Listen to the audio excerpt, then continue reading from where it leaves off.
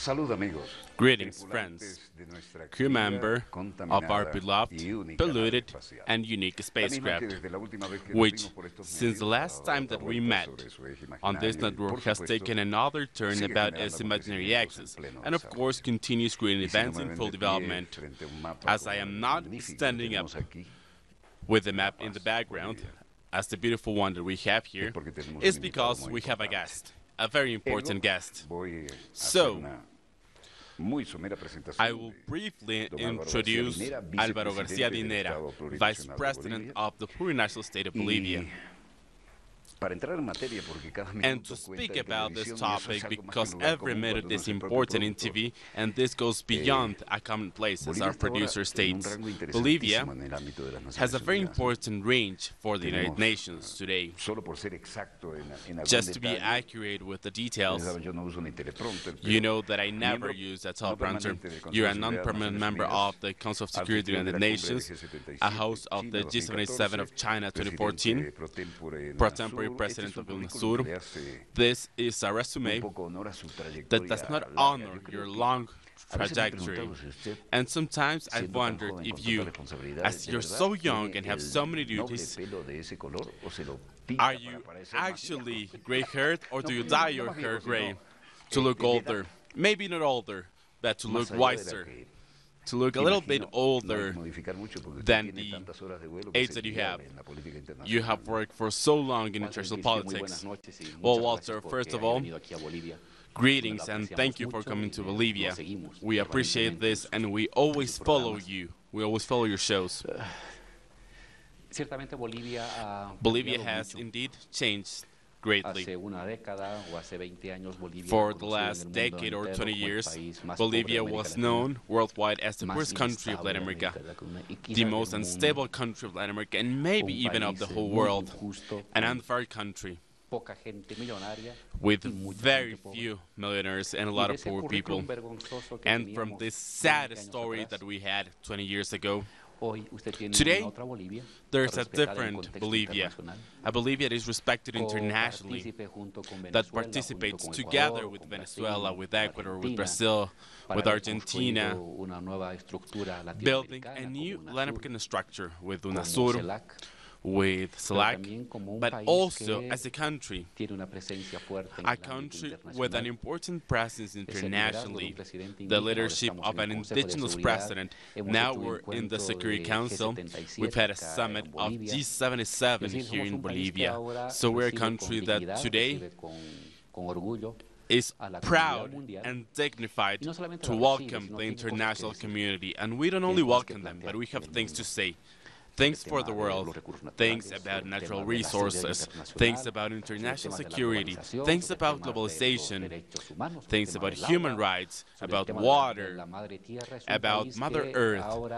Our country is now part of the international context as a country with an agenda. And it's not only dragged by an agenda defined by the great powers of the world. The change is exponential, but not only in numbers, but in the quality of management of the country.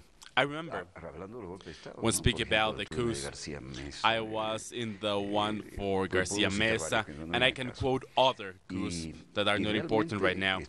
But the cameraman and myself were facing difficult circumstances, but for some reason this magical country allows us to love it. It's a very lovable country. Maybe it's because it's the favorite daughter of the liberator, and it creates a lot of positive news, because before we only heard about coups. Over 170 coup d'etats in our history. A country that was often overseen in the world news, and whenever we're shown, it showed the worst index of poverty and the stability. Today, things are different. Our country has a very strong indigenous roots and a great tradition, and you are very proud, just like we are. Because previously, people wanted to hide this, of course. But now, how do you want to progress with a country? A country that hides half of its existence. Today, the country is now modern. We look at modernity and we look at with a keen eye. However, we're still proud of our indigenous roots, of our plurinational roots. So, this meeting between the old and the new between the root and the horizon has transformed us into a country that today always has positive news. It's the fourth consecutive year that we have the greater levels of growth. We've reduced extreme poverty exponentially. I've been able to integrate our racialized society where power, money, prestige were distributed based on the color of their skin. And we've been able to do this. We've been able to dismantle this. And now it is a country that sees back its energy, its power, and that only after a decade, Bolivia once again is part of the international context as an example. An example of a revolutionary country, an example of a socialist country, of a country directed by humble people, by working people, but that can show the world indexes for democracy, indexes for integration, for participation, for economic growth, index for distribution of wealth, as well as proposals that globally create an agenda. And this is related to how we have come back to meet our own force. We haven't seen the outside to avoid the bad as we did before. And now we build our own faith with what we have, with what we are. And this is what has allowed us to progress, to progress in such a great way during the last decade. The achievements can never be discussed, and any country should be proud, or government should be proud about this. But I can see a continuity with the management. Governments are not changing and then different directions are shown. There's a sense of nation and continuity. Am I right? Well, continuity is decisive, Walter, because between the years 2000 and 2005, in five years, we have five different presidents. What can a country do with one president per year? What kind of stability, of long-term planning can you have? None, none at all.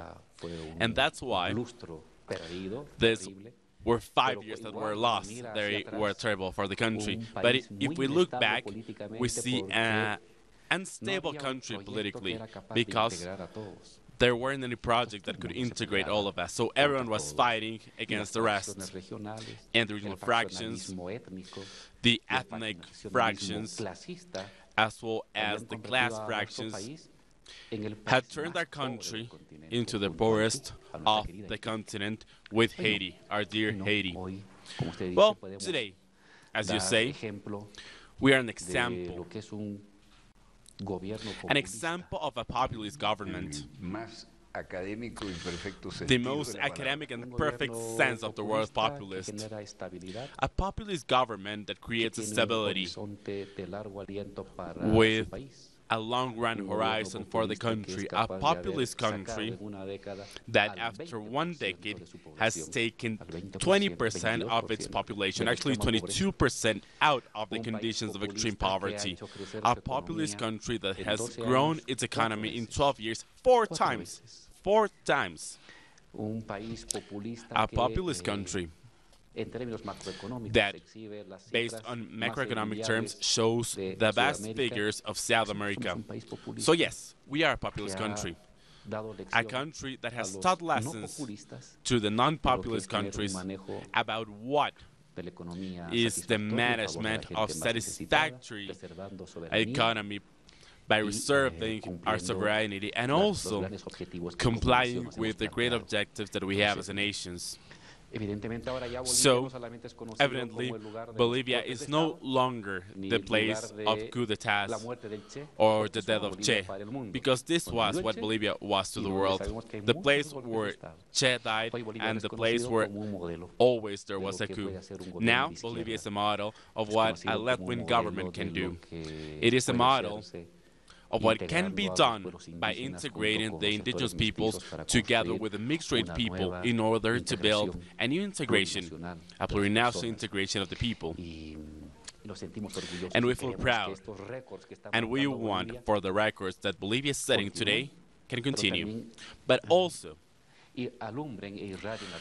we want to shed some light over the rest of the continent. Well, you're achieving this because we're now a reference for many people in the great nation of Latin America and the Caribbean, as we say. Thank you very much, Walter. And this is why we're here to pay you a tribute and to learn learn from the leaders about how this process has taken place. Walter, we welcome you. We are a very simple country. Our people are humble, and we are workers. Well, our simplicity and our work now become, well, they were usually a synonym of misery and abandonment. Now we're a source of energy, of dignity, of growth, of sovereignty, of conquest, of the development that was always yearned. Without losing our humility, without losing our way of working, we're building a different way of understanding each other and looking at each other at the same level we're all the same at the end of the day. Well, as clear as you're stating this with the academic and media terms that you are using today, the reality can be seen in every step that you take in the city. But also, this friendly rivalry between Santa Cruz de la Sierra and Bogota what has been of this? Because I've been in both cities, but I've visited them different times. Well, Bolivia, for 170 years, dragged three geological faults of our state. The regional fault, which was power and wealth concentrated in the capitals of the departments and the west and the rural zones and the eastern zones that were left to get 100 years ago, Walter, to reach the border with Brazil in the north, it took us a whole year, one year to get from the capital, from La Paz, to Cobija. So, what integration can this be? And from the different sectors of the Orient, there was a distance with the rest. So, this is geological fault of the construction of our country that has led to inequality, and we drag this. We drag this to 2008, it was an elite of foreign names that showed the whiteness of the skin as a synonym of distinction. that would take a turn due to endogamy for wealth, for power, for politics. and they marginalized most of the indigenous population of the farmers, and they kept them away from the achievements of the citizens. This is the second structural fault of our colonial heritage that it was never overcome with the creation of the Republic, nor with the Revolution of 52, nor with democracy on its first stage. And the third fault was the dependency on external powers, economically, culturally, First from Spain, then the English, after the English left, the Americans came. Eh, so it is a country that has been built over quicksand with three faults three geological faults, and these impeded us for creating solid foundations for our identity, for our nationality. We have tackled these three topics. The most important one is the regional one. We have a constituent assembly. We've created a regime for regional autonomy that gathers national, local identities redistributes wealth, but also this state is concerned about creating integration. Today, you can go from the borders with Paraguay and Brazil and reach the border with Peru or the border with Argentina or the border with Brazil. And you can do that in one day, not one year, as it used to happen just some years ago. So the regions, the regions with the east ahead of them that was placed between the West and the rest of the countries is now part of the plans for the development of the political acknowledgments and the old rivalry between the East and the West that even led, well, Eight years ago, nine years ago, a group of people wanted to divide Bolivia. It was a group of mercenaries that wanted to divide Bolivia through armed actions. We were able to overcome this. And this regionalist feeling has been kept, but as a healthy rivalry no longer with revenge or with isolation, but as part of a collective identity, a wider collective identity. So we've resolved the geological fault.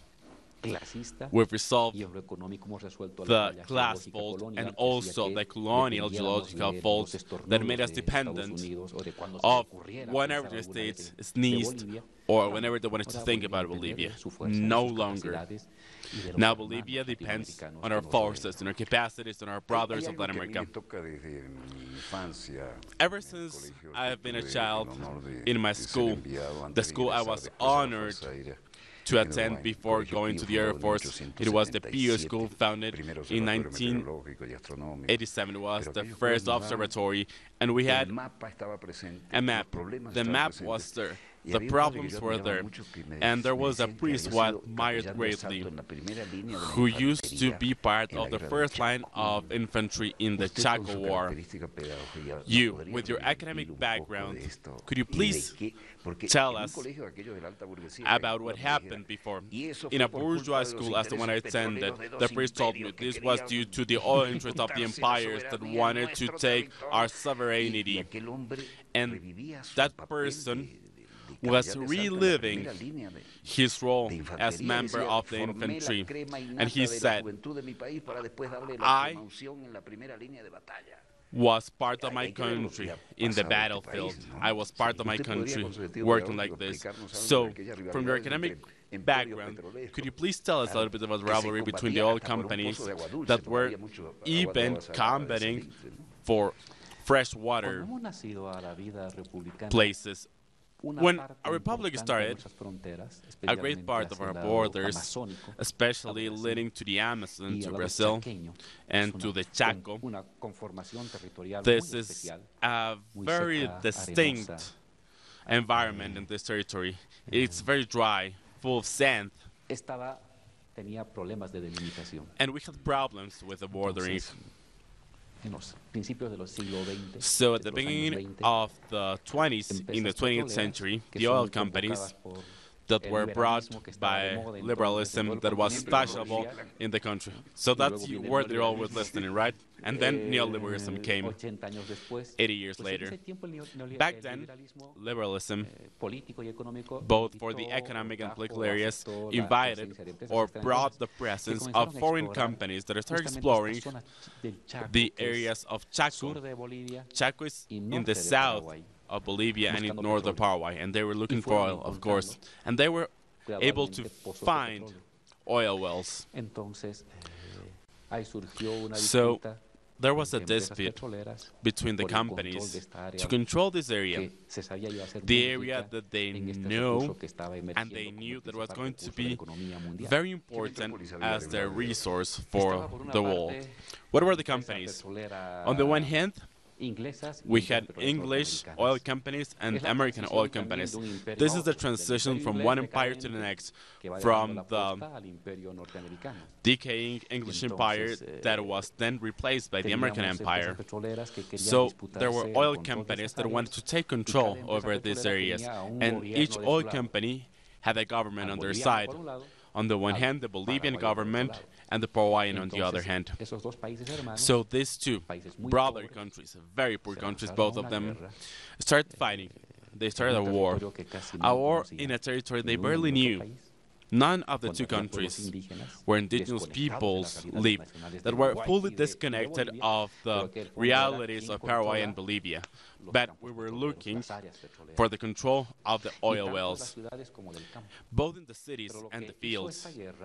But this war, beyond deciding. Well, initially it was a war between oil companies, and they used as soldiers the people, the people of Bolivia and Paraguay. And in the Bolivian nation, this woke a feeling of integration because in the sands of Chaco, the professionals of the city met the indigenous people of the Aymara, of the Quechua tribes, and they were facing death for a common cause with the same circumstances. Before this, they had nothing common.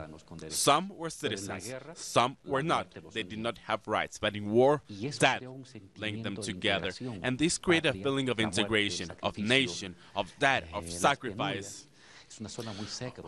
All these problems, there's no water. A drop of water is the dearest treasure there. So they died defending the interests of companies. But while defending and facing death, they met and acknowledged themselves as Bolivians, indigenous and mixed with professionals and farmers, workers and crafters. So when they came from war, defending the nation, they said, listen, for a long, long time we've been marginalized. Brothers, parents, family members have died due to the oil companies. That at the end of the day, Bolivia is the same. So after this, there was a feeling of nationalism that created first the left-wing parties and then the nationalist parties with a tendency to military nationalism. This is something that not everyone has been able to show, and you are the lecturer that we require for this, because dossier is about every category category of the society and the culture. So could you give us a lecture on this topic? As long as it is in line with what you want to say, because you have the floor. The soldiers and the citizens went to Chaco to die for other people's interests, and when they came back with the victory of defended the nation, but on the other hand, with the defeat of losing another piece of our territory, there was a cultural revolution. A revolution that was for the farmers. The farmers started creating structures not only community structures, but regional and national structures of the working people, the Federation of the Miners, the Mining Central of Bolivia, and the soldiers. Soldiers that then became tenants, captains, colonels, and who said, until today, we've been governed by the owners of farms and of mining companies, and they have led us to the death for other people's interests. Is our time to take charge of this country, the country we love. We've lost our lives to this country. We've lost our relatives, we've lost our friends. We need to rescue it. And ever since, inside the armed forces, there was a fringe, a fringe of a patriotic avant-garde line. The army members were the first one who nationalized the oil companies. The company Standard Oil. Huh, long history of this company. Well, it was nationalized. They created the first oil company of Bolivia, YPFB. They created a work code, a, a very important one. Huh. Interesting. What year we speak about? This is 1938. The war ended in 1936. So this way of working of the army created a group of ideas that are still important today in Bolivia. The armed forces were led by a colonel that now has an oil company and the leading company of Bolivia, the one with the greatest resources for the productive activity, for education activities, for working activities, was created by this army member. So there was a generation of the Chaco War that on the military basis was very progressive for its time and also on the political side allowed the creation of political parties that were both nationalist and also the creation of Marxist parties. So this was all a consequence of the war. Yes, the effect was great. So you've been the pioneers in many things, even though this has not been spread to the rest of the world. Our code of work, our labor code, is still is still working today. We are just modifying it today to add new areas of the Constitution, but it's been an excellent code that is still effective today, as well as the creation of the most important oil company of the country, which is the core of the Bolivian economy that is something else you have in common with Venezuela. And also with Mexico. Bolivia is like a transversal axis of the continent. Sometimes I always I speak about the great nation and I speak about the Caribbean. They have a lot of things to say. Back then, they also nationalized the hydrocarbon resources with a great political cost as well, with Cárdenas, with Cárdenas. From your academic point of view, if I may, where is the great nation going? This is a leitmotif for me every night. Today, today, the direction is not the best. There are a lot of issues in the great nation, but there's always been problems for the great nation. I've been able to overcome the adversities. That's why we've created antibodies, and we'll continue doing so. But there's a sediment. What has been done, if you see from the times of Bolivar, you can see he walked from the north and he reached this place. Never. The Latin American continent was as bound together politically as it happened with President Maduro and Chavez, with Lula, with Kirchner, with Correa, and Uruguay with Frente Amplio with Tabaré and Mujica. Never before we had this integration, this closeness, because before every country looked north to change the ministers, to get an agreement with neighboring country. They first asked the American embassy, and if the embassy said yes, then they held meetings in this great decade. from 2000 to 2011, 2012, 2013, in Latin America, something that had never happened since the time of the liberators happened. We've built CELAC, we've built UNASUR. There's been an integration of the presidents and the affairs were resolved by ourselves, by the Latin Americans, without the interventions of the OAS that has always been a puppet of the United States or even themselves. I think Benedetti was the one who said, I, am not clear about who said this, but he said that the Ministry of the Colony of the United States is the OAS, and it will continue being so. It will continue doing this. So, this political integration that we built was the continuation of what Bolivar did one century ago. What were we missing in the first wave? Economic integration. Because there are sediments. This creates a foundation that is even more solid than the affinity of the politicians of the revolution. And I think that this is the destination of the great nation. This is not only a beautiful phrase. This is something that's unavoidable and necessary if Latin America wants to be relevant in the planetary context. Walter, the United States is a continental state. Russia, China are continental states as well. Europe is a continental state. Who are the ones tracing the fate of the world? These powers. The rest, the rest of us are not tracing any path. When will Latin America become influent in the Latin American continent?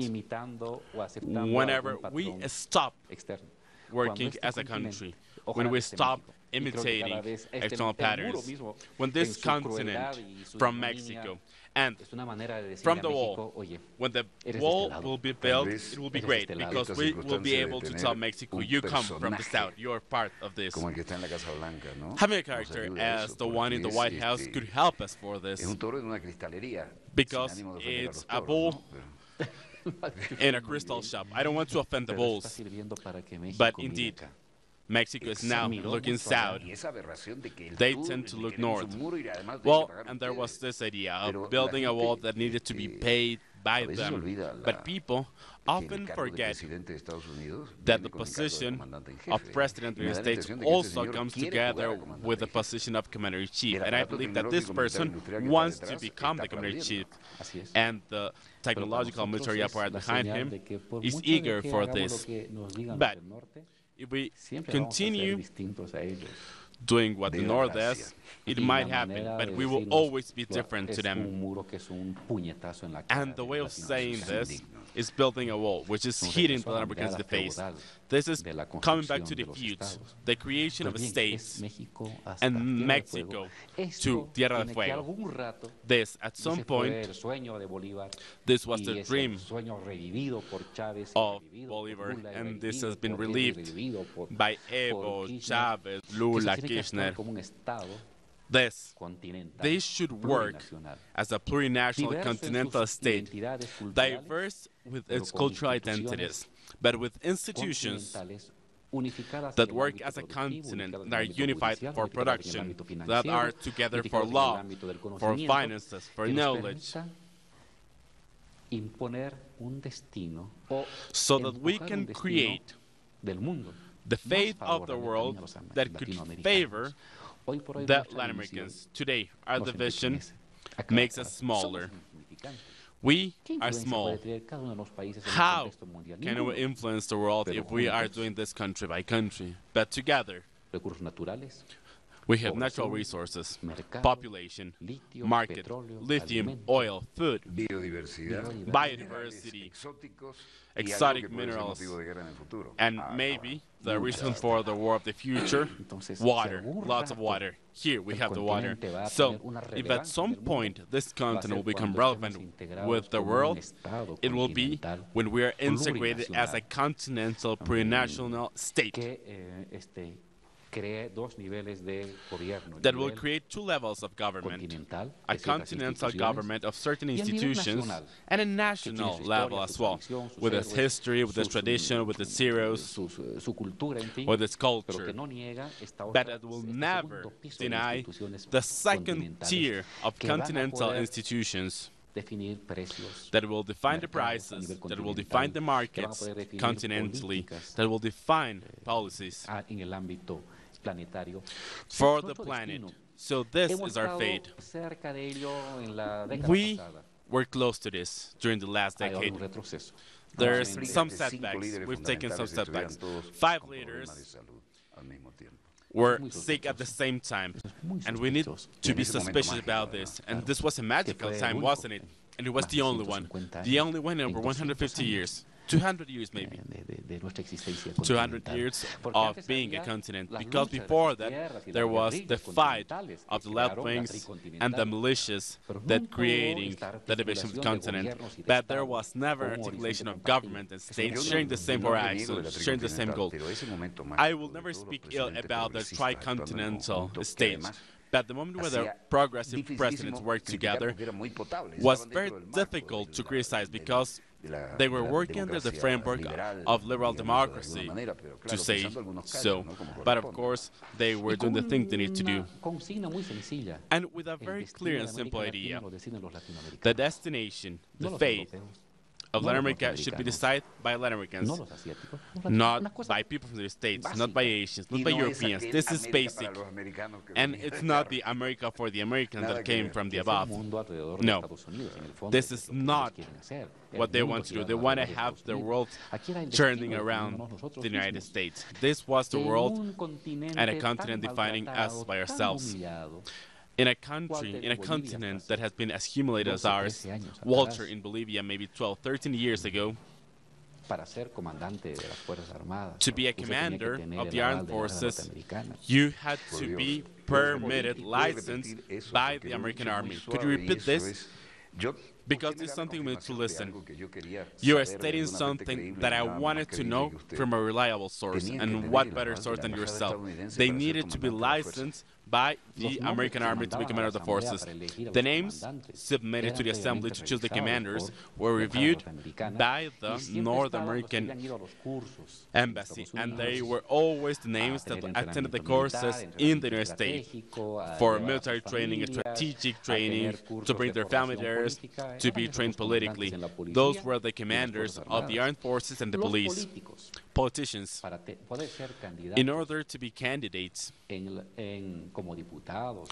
for the Congress or to become ministers, they needed to have a visa. Here, having an American visa was having the blessing of God, because this defined whether you were able or you were unable or not. The case was such that one of the last ambassadors to our own politicians of the MNR, ADN, MIR parties had to be dressed up as cowboys. They were marching around the embassy dressed as cowboys, and all of them were just waiting to be greeted by the ambassador because this meant that they could be congressmen in the next term or ministers in the next government. You can see this in the pictures of the papers. It hurts because this no, is not a movie, it's not an Italian movie. This hurts. And after listening to someone as reliable as you, it hurts to listen that this happening that I was not willing to acknowledge it at a given time. But yes, we have papers, we have collective memory, and still today, we have the stepchildren of the lackey politicians that still go to the embassy of the United States to celebrate New Year or the arrival of the new representative Thanksgiving Day. or Thanksgiving as well. These people have no shame, have no shame at all, and they just follow their leader. They're willing to lick their feet just for some economic help, just for some advisory. Walter, in Chapare, there's an airport in Chimoré.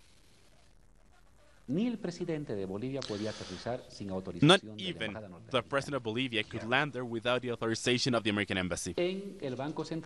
In the central bank of Bolivia, it is a building.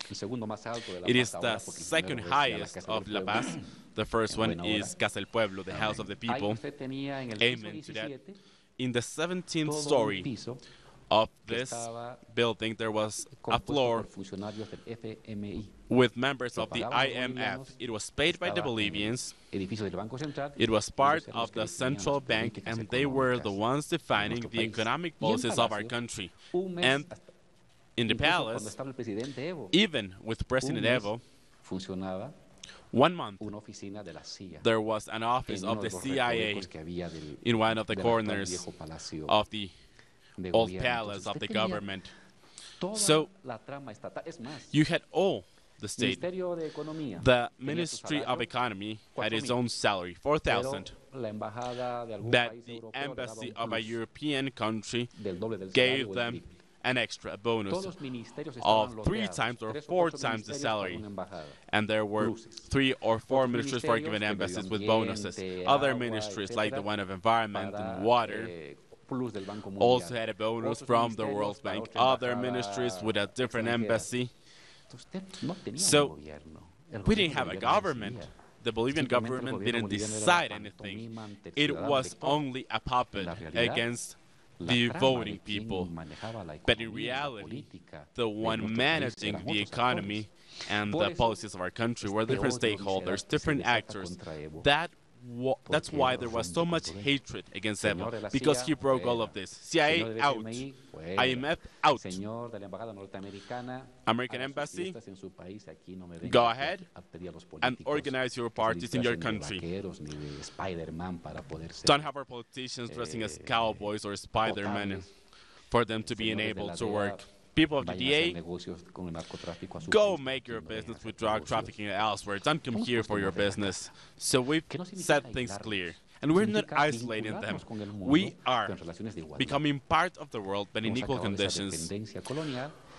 We've erased this dependency of the colony, and this has led to the hatred of those who live by this, those who receive their salary for doing whatever the American embassy said. They hate us. They loathe us. A continuous conspiracy of the most powerful who will never accept that a country as poor as Bolivia that was always so dependent, always so miserable, that never had any dignity, today is a solid, a sovereign, a dignified country. They will not tolerate this. And it hurts even most that it's a demonstration that we can. And with an indigenous people, with an indigenous person as president, this hurts them. We are proud of having Evo as a president. Bolivia is the beloved daughter of the liberator. And finally, Walter, Bolivians receive our salary from our own resources. Please explain this. Our country, a very wealthy country about minerals and hydrocarbons. Whatever you want to name, we have it. But this did not belong to Bolivia. This belonged to different foreign companies. So when I met with some foreign politicians, I will not speak the name of the country, they told me, Álvaro, your country has 45% of the GDP controlled by two countries. What are you going to do with this? Two countries were controlling almost half of the GDP of Bolivia. President Carlos Mesa was in office two years before us. And to pay for the bonuses, he had to go to the States to ask money to the IMF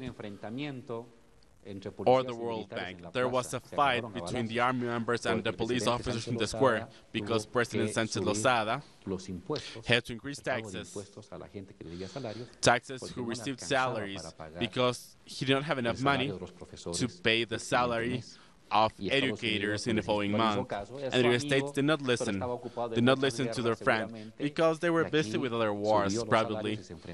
So salaries were raised, and the military and the police fought in the square. Many were killed. So it was a country that had a lot of trouble making ends meet.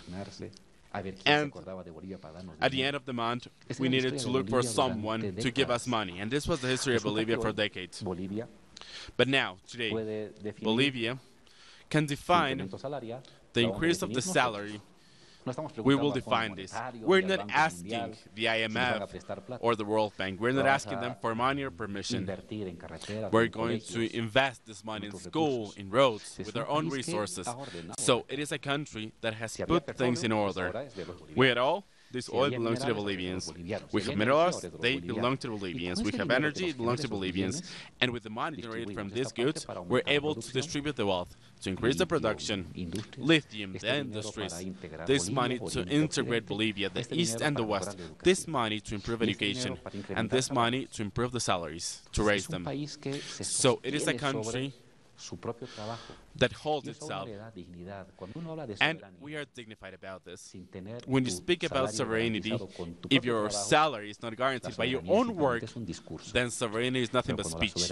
But when sovereignty is based on a political speech, but also economic sustainability, then sovereignty makes sense and it has a reason. And this is what we have been able to achieve in the last decade. And you've done this in such a way that has bothered some people and made others proud because this is a fundamental part of the great nation of Latin America and the Caribbean. And this is what we're building. And we'll need to rebuild the great nation, Walter, because or we do this, or Latin America will still be the small continent that we are today and will mean nothing to this conflictive, to this violent world.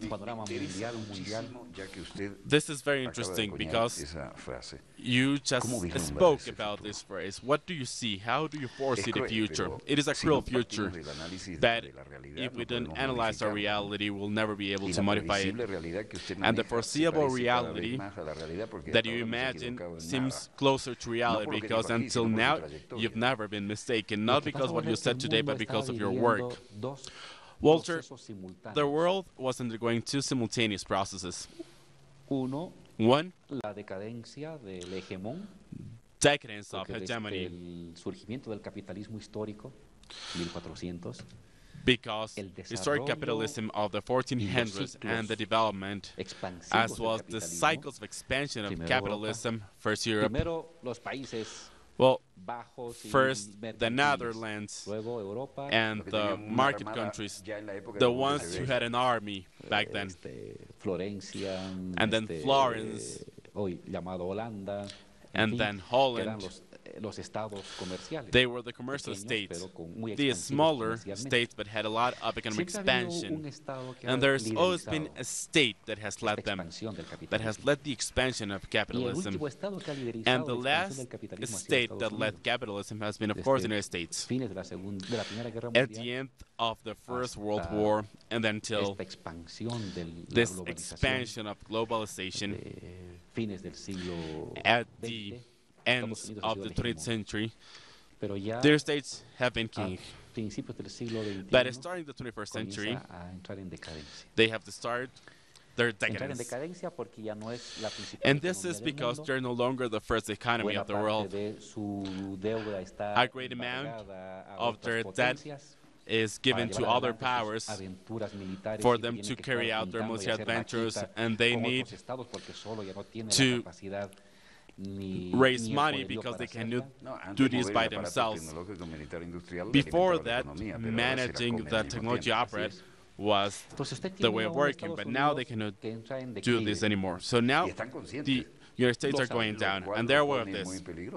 And as they're aware of this, this is very dangerous because they say the world is difficult, so I will come back to America. America for the Americans, United States first. So they start, they stay in their country conservatively, no longer expansive. And then there are other powers that are looking for expansion Germany, China.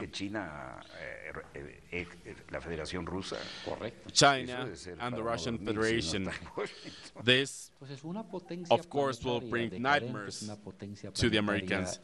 So, a decadent way of working the planet is very aggressive and violent because on the one hand they are aware of this, but on the other hand they are not willing to give up.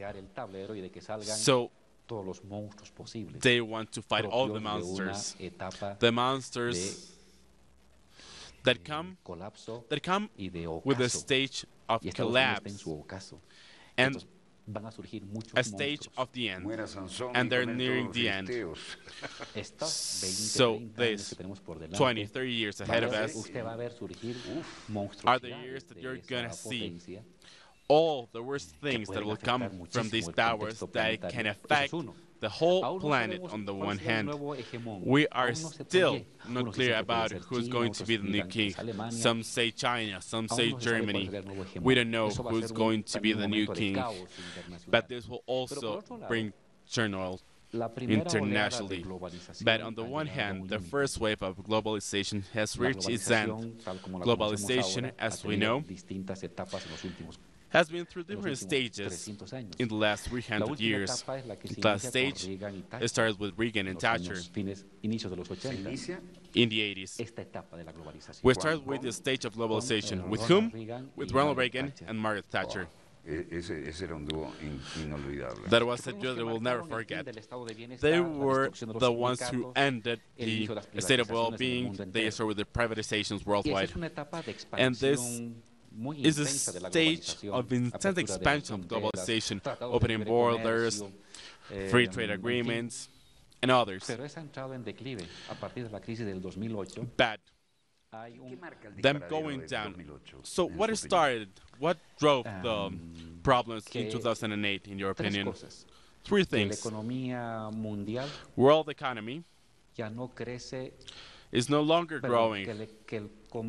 Sorry. World trade is not growing at the same rate, which was twice-fold or threefold as it happened in the 80s and up to 2000. Before that, economy growth two times and world trade six or five. World economy three, World trade nine. And since 2008, world economy grew by one time and the world trade by less than one. So there's a decline due to the most important engine that was globalized market. It is still growing, but not as much, not even at the same rate as global economy. Secondly, a setback of the capitals of a part of the financial capital that it was going around the world. So there was a contraction of bonds. Foreign investment was also constrained. And of course, there's still a flow of financial capital, but not at the same rate as before. So there's a process of deglobalization. England came back to Chester Island, their states, back to their America, creating borders for the Latin Americans. They just raised the tariffs to China. They cannot fight China, so the only way is violating the own rules that they created for free trade. So the ones who started with globalization, England and the United States in the 80s, are now the countries that are the neo-protectionist countries. This is hypocrisy, isn't it? It's a paradox. Of course, globalization will not disappear. But as slowing down globalization leads to a process of deglobalization that goes back to a nationalist protectionism for economy of the two great powers. And in Europe, they are starting to speak about this, whether it is necessary to once again be careful with the markets, to reduce the influence of the financial capital. And what happens if we're break the NATO? For example, so, two things that happen. The collapse and the end of a part of the country and a new protectionism that is slowing globalization. So, deglobalization as a consequence, and this, of course, creates an explosion. Initially, the North did not see a horizon. What's the horizon? What's the limit? Globalization?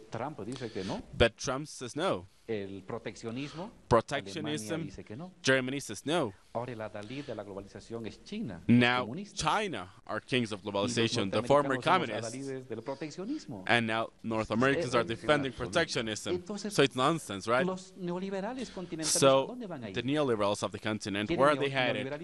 They want neoliberalism, so they're communists China, with China. son proteccionistas, Are they entonces son protectionist con Estados Unidos. So United States Y todos los libros de economía a la and all the books of economy No hay, La no hay con derecha queso. are now se ha quedado sin nothing but firewood, and they no longer have a speech. They have nothing to say modelos a imitar because their leaders, their models contradict themselves. por el lado del libre comercio, Some look for free trade, proteccionismo. others want Unos por el lado de protectionism. Some globalización, want to widen poner freno a la globalization. Some want to slow down globalization. Entonces está desatando un So this is creating chaos, mental chaos, y un caos ideological chaos, and economic inicios de una guerra chaos. We are at the start of a commercial war that we don't know. y quiero que We have three minutes, and I want you pronosticador to be the one who will foresee with your academic knowledge and expertise. simplemente veo caos. Listen, I only see Y no es chaos, chaos worldwide, and not a creative chaos. No, this is not a creative chaos.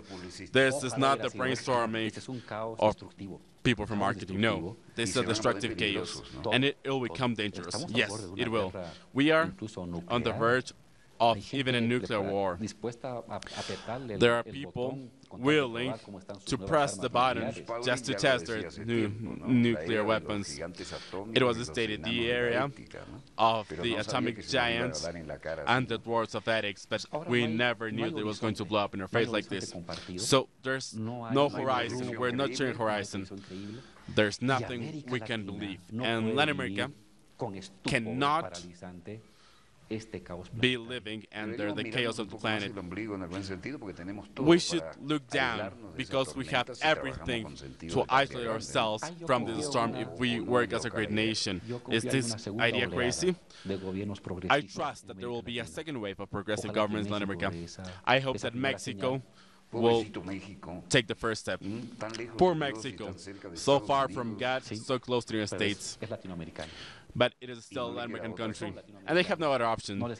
And they don't have an option. They need to look south and with us, without looking north, seek our own faith, our own possibilities, integrating our economies, our market, and our young population, there's a great projection if we can plan, if we can plan this without projection for the future. So Latin America today, in a moment where the world starts crumbling on uncertainties, Latin America should be protected by integrating, not by firing each other's shots. So today we need integration. And of course, without nine bases and granting the sovereignty of the land, of the sea, and of the air. Well, for this, the peoples of the countries, the countries that have allowed the governments to create these colonial bases, to rebel to rebel. We need to stop the chaos of Latin America, as the liberators said. How can they build a wall but then bring their military bases here? What is this? They're prostituting people in these places. Latin America should not fight with the United States, but we should not allow them. We should not allow them to drive us, to manipulate us. We should not allow the United States to do so. Professor, this has been a wonderful lecture. I personally would like to thank you because you've taught me things, you've confirmed some things. If you're not learning something every day, you're doing things wrong. But not every day we have the pleasure of listening to someone of your category and as coherent as you in your speech and with your academic background. Thank you, Walter. You're very kind. I'm just being fair with you. And also, we're in the land of the favorite daughter of the liberator that joins us together with Artigas, who created the first agrarian reform and had to die in exile. But then we also defeated the English fleet a couple times. I will not speak about this today because there are still some open wounds. But whatever the case may be, thank you for allowing us to be there with you. I hope you enjoyed as much as I can tell you, I did in every single minute of this wonderful time. And I would like to proudly tell you that you are a permanent guest for this show that goes beyond what you can imagine because where we cannot reach with our satellites, we can reach with networks. I even received letters from the University of Japan. I am honored of having the chance to interview you. And as a person who has worked inside the monsters with the advisors of Kennedy, Briefly, the old campaigns in Venezuela were democratic actions with the Republicans and COPEI with the Kennedy advisors. I had very intense campaigns with these people, and if you ever need someone to throw a spear for you, trust me, I am there for you. Thank you, Walter, for being here and for everything that you teach us every week. I feel very proud of having the chance of being interviewed viewing you, wherever you may be. Thank you for being there with you. This was Walter Martinez, producer and host of Dossier. Director, the floor is all yours.